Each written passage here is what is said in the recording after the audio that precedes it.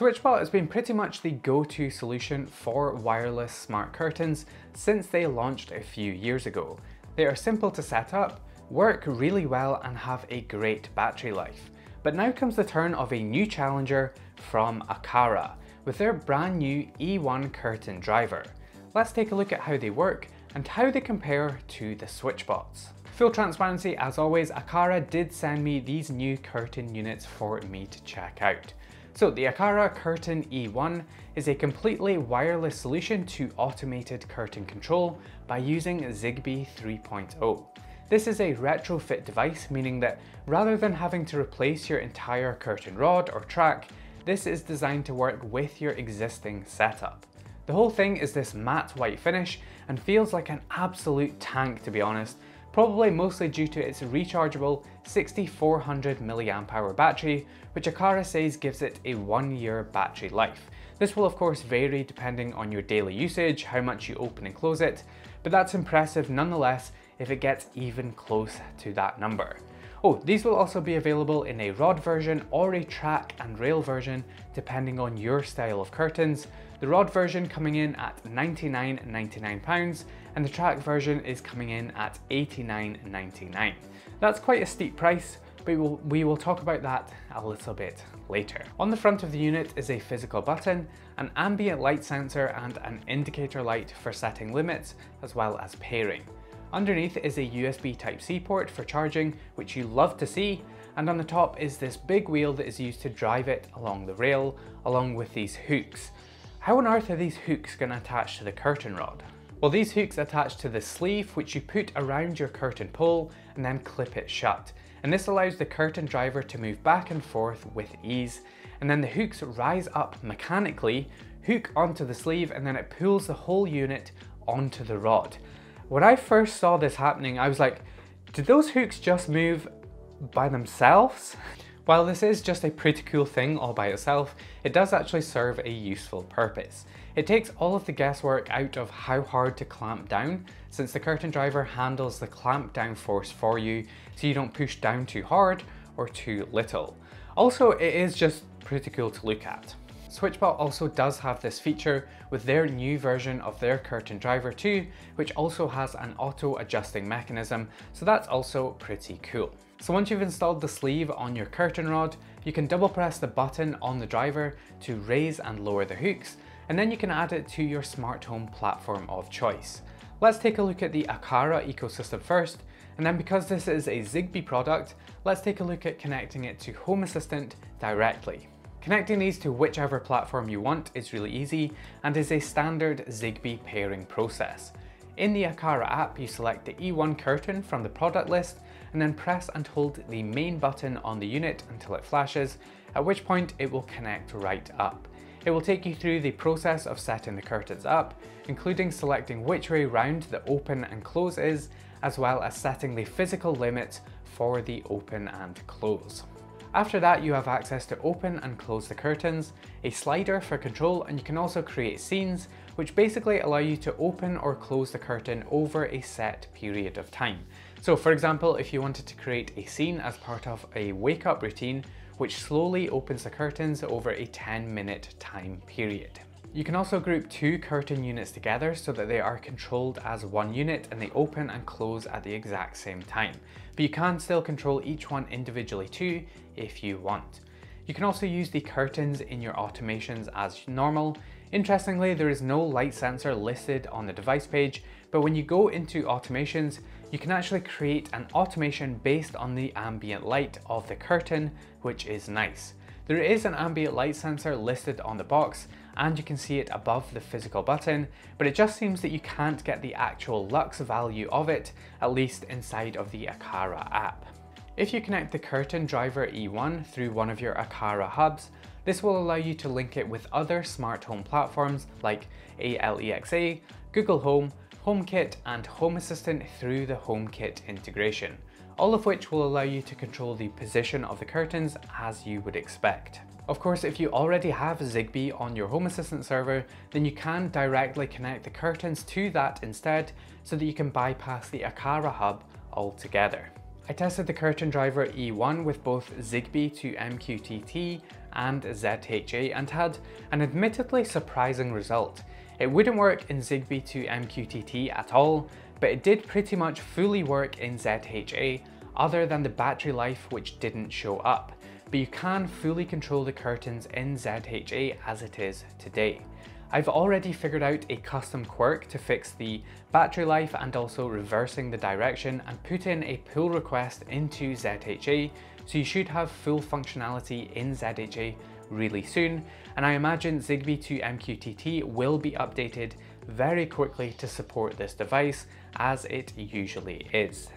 Also don't worry that you don't have the ability to set the limits if you don't have the Aqara app the physical button on the front can be used to set the physical limits for the open and close, and you don't need to do any of that in the Aqara app if you don't want to. The button on the front can do the physical limits as well as raise and lower the hooks as well as the pairing process. Once it's added to Home Assistant, they will show up as covers and you can customize them however you want.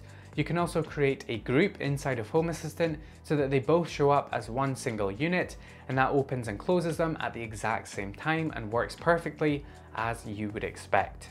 Up until this point, SwitchBot has enjoyed a pretty much monopoly of this particular segment of the market with their SwitchBot curtain.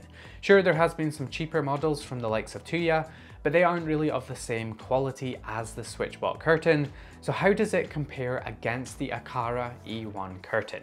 Performance-wise, the Aqara does outmuscle the SwitchBot a little bit, at least when you intentionally load them with extra weight.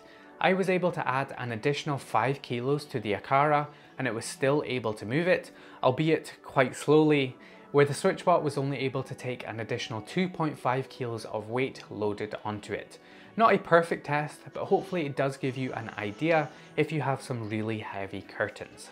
In a real world application, however, they do perform pretty similarly, at least for my curtains. These curtains have started sticking near the end of the travel, much worse than they were a year ago just through wear. Both the Aqara and the SwitchBot work perfectly well at the start, but then start to struggle near the end of the close operation just due to the way that the pleats of the curtains line up when they are stretched out. To combat this, Aqara has included some clear plastic tape as well as some hooks that you can attach to the top of your curtains to keep all of the pleats at the same length as each other and this makes the curtains move perfectly well. SwitchBot also ships a similar solution in the box and again works great. The only problem I have with these is that they went to all of the hassle of making the tape I know that's not the right word for it, but they went to all of the hassle of making the tape clear and see-through so that you won't see them, and then they included white clips which stand out on dark curtains. It would have been great if the clips were also see-through and clear to make them a bit more stealthy, but that is a minor complaint. Both curtains also support the feature where you can pull the curtain a little bit and the drivers will kick in to complete the rest of the action for you. In terms of speed, both are pretty comparable. The Aqara is a little faster than the SwitchBot, but not hugely, although this will obviously depend on how long your curtain rod is. The longer the rod, the larger the gap between them will be. From a noise perspective, I would again say that in terms of volume level, they are pretty identical at least to my ear. However, the SwitchBot does give off more of a higher pitched screech that makes it sound louder and draws more attention to it whereas the Aqara is a lower pitched rumble that allows it to fly under the radar, at least again to my ears. One major difference is obviously connectivity. The Aqara connects via Zigbee 3.0 and the SwitchBot connects via Bluetooth.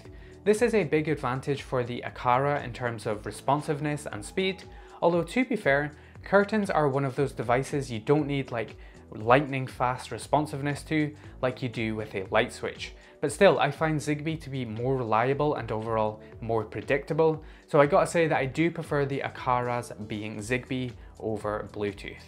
One advantage that the SwitchBot does have though is its quiet mode, where you can run the motor at a slower and less powerful but quieter speed, which is useful for if you have them in a bedroom.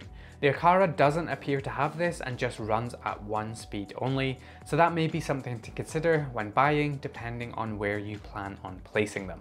Finally, what about price? So the Aqara E1 driver comes in at £99 for one unit, and the SwitchBot Curtain Rod 2 is currently £85, so around a £15 difference. I think the £15 difference to get Zigbee over Bluetooth is worth it for me personally, but honestly, other than that, both of them are actually really comparable with each other in pretty much every other way. They both have incredibly easy setups, self-adjusting mechanisms, can do different rod types, have light sensors, USB-C, and everything else is very similar. So it comes down to Zigbee versus Bluetooth, the quiet mode on the SwitchBot, the better strength on the Aqara, and the price difference. Both of them are quite up there in terms of price, especially if you do have quite a lot of curtains that you want to add these to, but hopefully we will see a price decrease on both of them once they have been out for a while and now that there is some competition for each other. Either way, it's great to have some real competition in the space. That is always great for us as consumers and it drives better products and ultimately a better price. By the way, if you do want to pick up either of these products, I'll have them linked in the description down below. And because the Aqara is just launching, I'll also have a discount code for you down below, which will get you some money off your order. Also, if you're watching this on the day of release, I suspect that these are going to sell out very quickly, but I do also want to remind you that it's Prime Day tomorrow where there are generally some deals, if you know what I mean, so just bear that in mind before pulling the trigger. Anyways, that's about going to do it from me for this video. I hope you found it useful. Let me know what you think of these new curtain drivers from Aqara. Anything you think they are missing, let me know down in the comments below.